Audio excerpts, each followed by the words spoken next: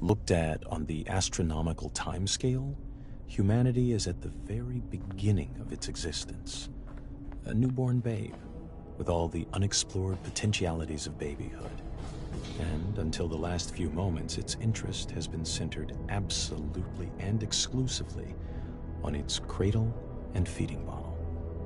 It has just become conscious of the vast world existing outside itself and its cradle. It is learning to focus its eyes on distant objects, and its awakening brain is beginning to wonder in a vague, dreamy way what they are and what purpose they serve. Its interest in this external world is not much developed yet, so that the main part of its faculties is still engrossed with the cradle and feeding bottle, but a little corner of its brain is beginning to wonder. James Jeans, 1928. In any case, our three days old infant cannot be very confident of any interpretation it puts on a universe which it only discovered a minute or two ago. We have said it has 70 years of life before it, but in truth, its expectation of life would seem to be nearer to 70,000 years. It may be puzzled, distressed, and often irritated at the apparent meaninglessness and incomprehensibility of the world to which it has suddenly wakened up. But it is still very young. It might travel half the world over before finding another baby as young and inexperienced as itself. It has before it time enough and to spare in which it may understand everything. Sooner or later, the pieces of the puzzle must begin to fit together. Although, it may reasonably be doubted whether the whole picture can ever be comprehensible to one small and apparently quite insignificant part of the picture. James Jeans, 1928. Just reading these well, picking the right takes, placing them. Yeah, I, I don't think it pays to be too neat. You want to leave some traces of us for the intrepid to find. What do you mean? Any visitor to that island is going to hear quite a lot of us, if they poke around. Oh yeah, no, sure, but I mean, showing what's happening behind the scenes a little bit to ensure we keep some authenticity. Because if we get too concerned with saying a bunch of wise things in the least personally revealing way, then we're basically putting up a front, in danger of it becoming a false front. It's a slippery slope, and you know how easily we could slide into pomposity. Nobody wants that, but would we notice if it happened? Or are we too close to the project?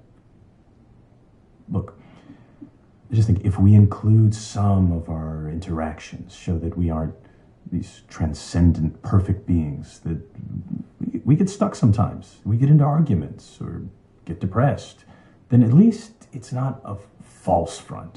At least, at least we're not hiding. Authenticity is good, yes, but you can find human drama anywhere. I mean, we're drowning in it from day to day. We're supposed to be building a quiet environment away from drama, not celebrating it. Look, these are objects of contemplation. These are about focus and clarity. We agreed at the outset. Yeah, I, I know. And I don't want to change any of that. Just just a little added twist, you know, tucked away deep. It doesn't have to be drama, it's just reality. Reality. So, what? We should record a meeting and stick it in? Hmm, maybe. But we already have some good stuff. Oh, like that little encounter the other week where you offered to buy a girl a sandwich? Oh. Her mic was running, so it's in the archive. Look, it's fine.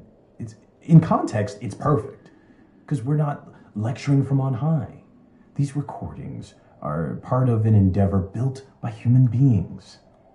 And they aspire to truth with a capital T, but we also have to remember that they cannot actually get there. We should be clear to the intrepid that we know this. I, th- I think it'll make it better. Okay, sure. We'll at least see how it feels.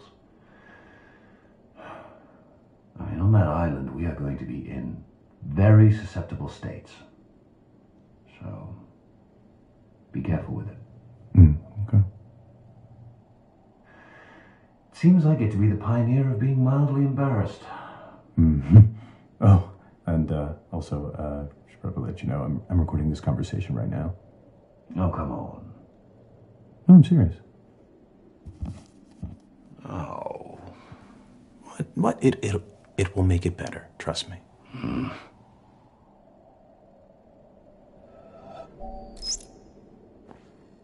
God bade me behold the sea, and I saw the ships sinking and the planks floating. Then the planks too were submerged. And God said to me, Those who voyage are not saved. And he said to me, Those who, instead of voyaging, cast themselves into the sea, take a risk. And he said to me, those who voyage and take no risk shall perish. And he said to me, In taking the risk, there is a part of salvation. And the wave came and lifted those beneath it and overran the shore. And he said to me, The surface of the sea is a gleam that cannot be reached, and the bottom is a darkness impenetrable and between the two are great fishes, which are to be feared. Niffari, circa 970.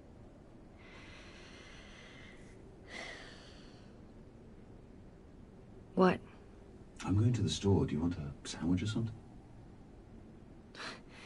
You've been standing there for like an hour, I didn't want to interrupt. and I, I don't like sandwiches. Have you ever seen me with a sandwich? Why would you think I want a sandwich? Sorry.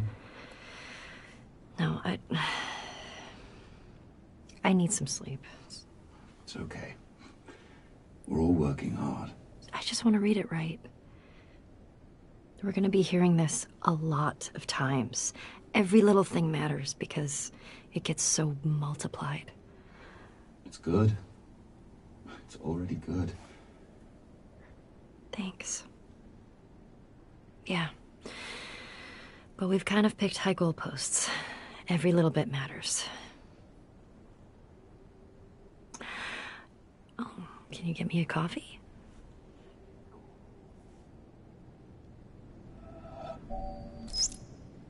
It's just the new teapot beeping. It boils fast, but that beep bothers me. Moving on? So, next I want to raise this problem, which is that I think we don't have enough smart representation from materialist atheists, physicalists, anything in that neighborhood of ideas. And I've been trying to do something about that, but it's hard.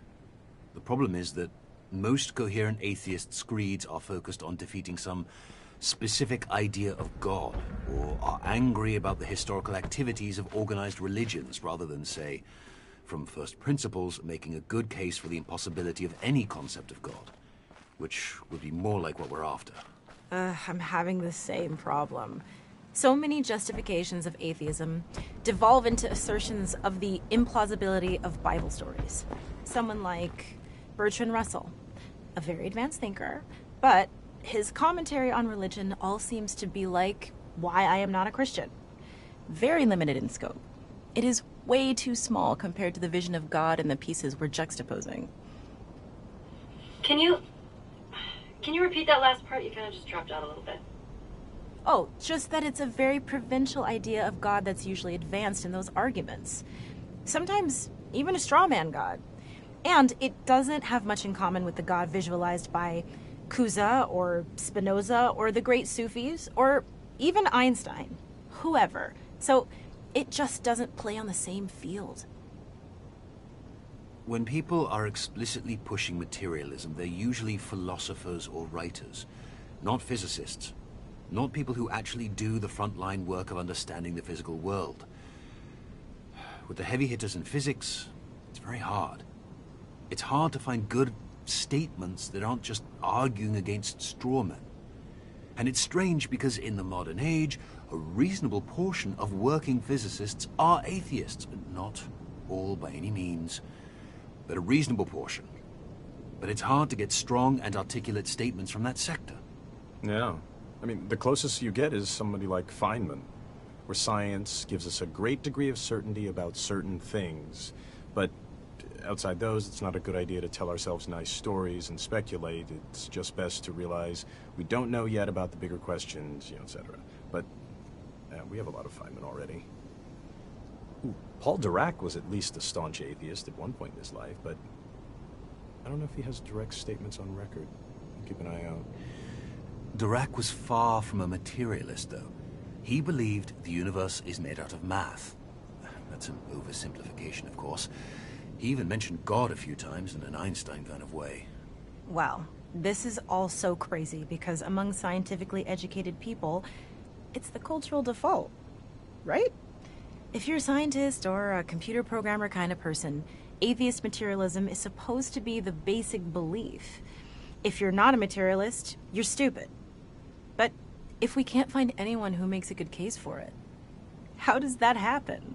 Well, it's easy to be convinced of the absurdity of stories in common Christianity, Judaism, whatever. So, if that's your picture of spiritual beliefs and you have an aversion to digging too hard into your own worldview, which most of us do, then there you go. Anything that seems religious is goofy Bible stories, and materialism is anti religious. And it's the general impression that smart people are materialists, and uh, hey, I want to be smart, so case closed. Also, there are all these so-called spiritual people who believe basically anything and try to convince everyone. In addition to goofy Bible stories, did I forget to mention ghost stories, astrologers, spoonbenders, and all kinds of frauds? It's a ton of noise. It makes it almost impossible for an outsider looking in to see high-quality thought in the world of spirituality. If I can even generalize spirituality to one thing. So it's easy if you're already leaning toward materialism to see these flaky spiritual people, extrapolate that to all spiritual people, and say all that stuff is garbage. Hmm? That's how it worked for me. For a while. Okay, but despite all this, there's a large contingent of present-day real scientists who believe in some form of atheist materialism and whose beliefs have been carefully considered. So we need to ensure we respect that viewpoint. It's I so remember frustrating. that. Oh, sorry. No, no, no, you you go. Oh, um, I was just gonna say, Carl Sagan has a good piece in um, Demon Haunted World where he talks about science as a profound source of spirituality, but he doesn't mean mystical spirituality. He means just pure dedication to truth and the development of a wise perspective on our place in the world. It's nice, and it's a, a picture of atheism that isn't hostile or contemptuous. Yeah, I read that, and what you're talking about is a beautiful piece, and I tried to get it, but Sagan's people want too much money. Can't we just pay more? No. It would trigger a bunch of most favored nation clauses, and we have to pay everyone a lot more, and we go broke. So, no Sagan for us. It is a shame, since he was such a great thinker, and eloquent, too.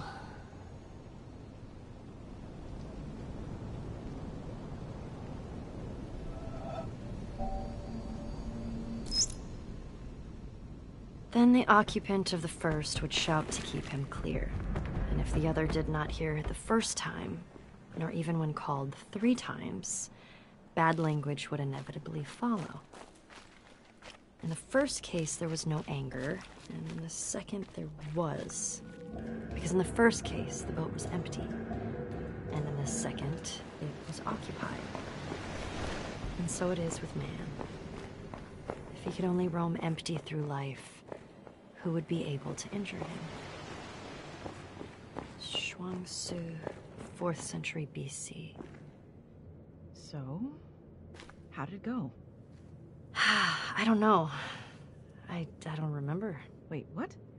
No, it's it's not it's normal for me. I never remember my dreams. If I try right when I wake up, I can just barely remember fragments. Later in the day, even 20 minutes later, those fragments are gone. Unless I wrote them down. Then if I read them later, it's like these are ramblings of a crazy person. Yeah, but then how do we know there aren't any side effects? I mean, do you remember everything else about your life? It's fine. I mean, we're just doing suppression, not lobotomies. I mean, everything is still there. In dreams, we often take on personalities that are a little different. We forget details of our waking life and remember fictions in their place. How does that happen? Well, we're just using the same pathways. That's fine. But really, how should I know if something's missing? If you forget a few random little things, how would you remember that you forgot? Nothing big is missing. I don't think. Wait, who are you again? Oh, God. Why did we let you go first? First hasn't happened yet. I was just dipping my toes into the pool. Real first happens when someone dives right in and gets to decide for themselves when to come out. Who's that gonna be? You? I long for the days when we weren't sure we'd be doing anything this scary. It'll be fine. It's not scary. It'll be fun. So fun you don't even remember? Okay, no. Shoo. I, I want to re record this one before I go home. I have some new ideas about it. What? Because of the test? Yes. Because of the test. Um, possibly. I thought you didn't remember anything. Hmm. Interesting. Yeah. Have a good night. I'll see you tomorrow.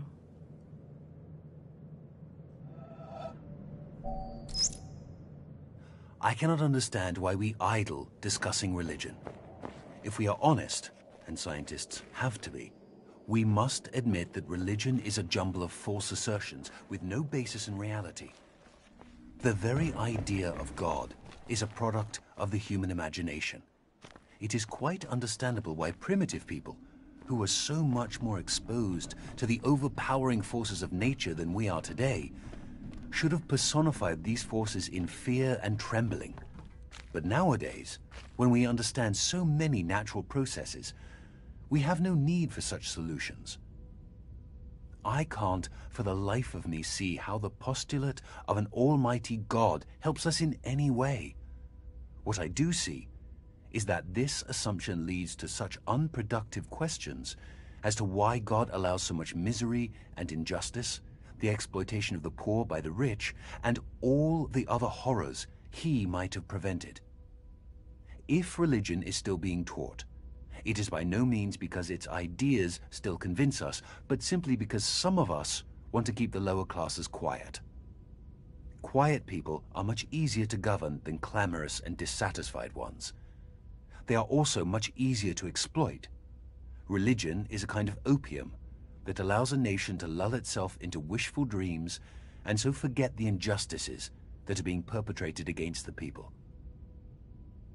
Paul Dirac, 1927, as related by Werner Heisenberg. So, you see what I'm saying here? Yep, this one doesn't fit either. How would you characterize the way in which it doesn't fit? Well, it's about arguing. And it's about being greatly disturbed by issues that are relatively small. It's not aiming high, and it's not about ultimate truth, not really. It's mostly about what some stupid people are doing that is wrong compared to what I am doing that is right. But Paul Dirac was definitely a truth seeker, in the domain of physics at least. Mm, Yeah, but I don't feel that attitude in this piece at all. If a belief is just formed in opposition to other beliefs, it can't be fundamental. It can't be that deep.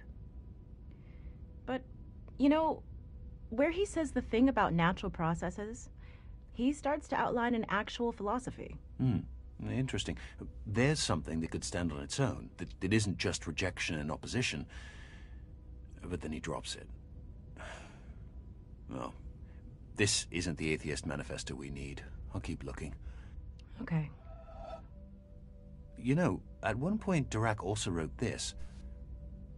One could perhaps describe the situation by saying that God is a mathematician of a very high order, and he used very advanced mathematics in constructing the universe. I think he meant God in an Einstein kind of way. Hmm. He said that? Same guy. Same guy. Mm, Later in life, though. Eh, people are strange. Scientists are stranger. Yes, they are.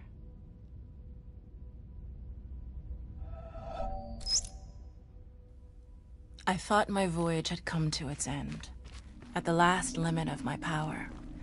That the path before me was closed, the provisions exhausted, and the time come to take shelter in silent obscurity.